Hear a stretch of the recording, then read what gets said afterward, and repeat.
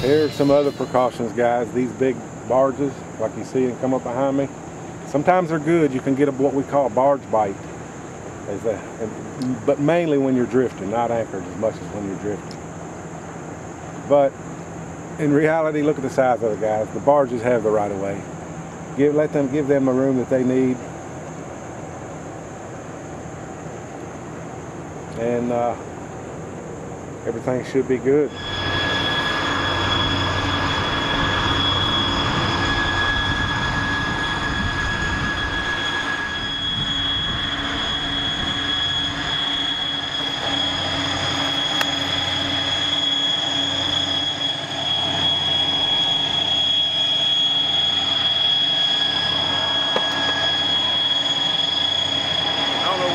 About them barges, but nine times out of ten, the barge goes by, you catch a fish.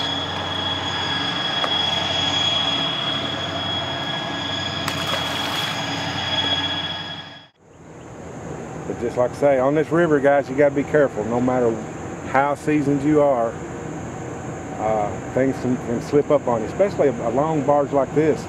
As it was coming up on us, we couldn't hear nothing. You, don't hear the barge it's coming to you. You don't really hear it until it gets to about right here where it's at now.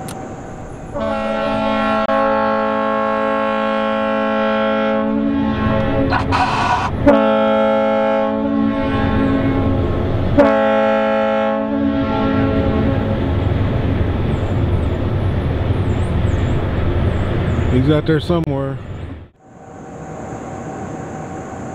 Just use caution when you're on the river, guys. We don't want you hurt.